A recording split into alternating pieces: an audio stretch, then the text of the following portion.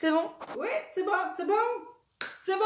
Coucou. Voilà, coucou. Voilà, il est déjà là. Ça, je sais pas. hein. C'est pas grave. Voilà. Aujourd'hui, pour la vidéo de ma série, on est avec Yves Géraud. C'est bien. C'est enregistré? Oui, on est en train d'enregistrer. On va la refaire, non? Ouais, c'est bon, c'est bon. Non, voilà. Donc, Yves, il était avec nous il y a un an. Et on parlait à l'époque, voilà, et on était à l'époque euh, au Grund. Au gros.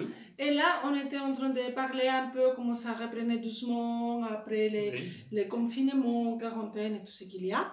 Donc, après un an, le Covid, il est toujours là. Et donc, après un an, qu'est-ce qui s'est passé?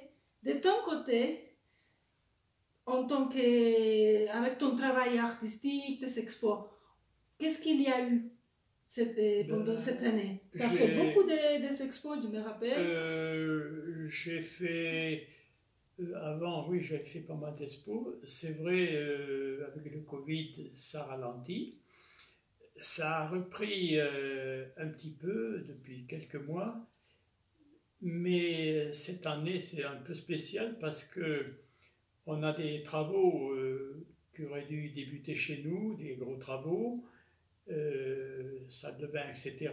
Et euh, les- ces travaux-là ont été retardés cause de Covid, euh, matériel euh, non fourni, Oui. un problème général. Et mes expos que j'ai annulés à cause de ça, je n'ai pas pu les reprendre. Alors je Mhm. prépare des expos euh, qui vont avoir lieu dans quelques mois ou l'année prochaine. Oui. Et cette année, tu as aussi participé au Grund. Oui, Tu étais toujours. j'ai participé avec plaisir euh, deux fois au.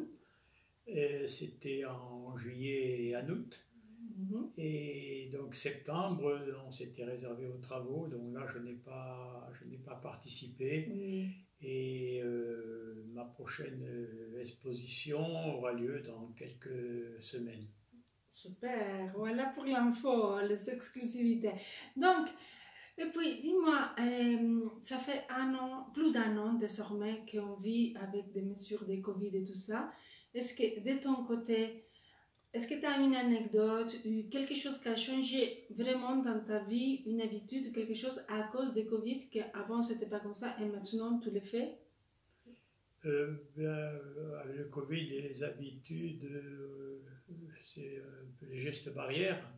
Oui, On- mais dans, dans, dans ta façon de travailler ou de faire des choses, est-ce que maintenant, qu'est-ce que ça a changé Dans ma façon de travailler, euh, ce qui a changé, c'est vu que le rythme des expositions a été réduit, ça m'a permis de, de me concentrer sur euh, d'autres, sur des créations, sur des, des choses que j'avais euh, un petit peu euh, négligées ou pas eu le temps de faire euh, à une autre époque Mhm. ça me permet un peu de, de me recentrer un petit peu dans, dans ce que je voudrais faire en ayant du temps. Et avec le temps, évidemment, c'est une chose très appréciable.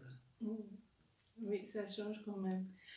Bon, alors, la vidéo que vous venez de voir, vous allez la retrouver dans les prochains jours, dans les réseaux sociaux, sur la page du projet Fandé, mais aussi, vous trouverez la vidéo dans la playlist dans ma chaîne de YouTube Myriam Erkruger Art. Donc, je vous invite déjà, si vous ne l'avez pas fait, à vous abonner ou à suivre la page Facebook.